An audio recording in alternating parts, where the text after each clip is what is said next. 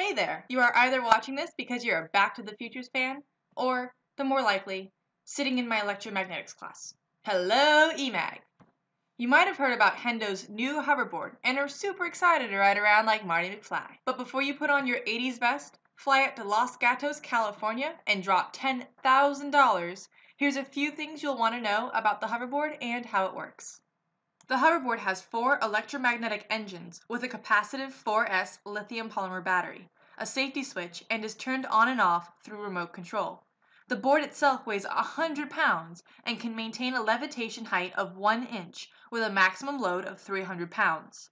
However, the hoverboard only works on non-ferrite materials like copper and aluminum. This is because the hoverboard capitalizes on Lenz's law, which states that an electric current induced by a source such as an unchanging magnetic field always creates a counterforce opposing the force inducing it.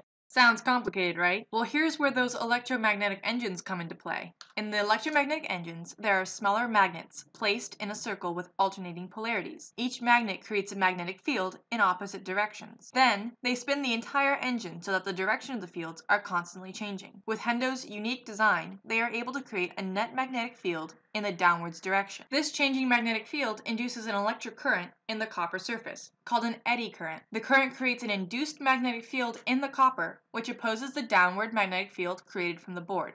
The resulting upwards force from the induced magnetic field causes the board to levitate. Pretty basic, huh? For all that are interested in buying one, they will be open to the public for sale on October 21st. Well, see you then.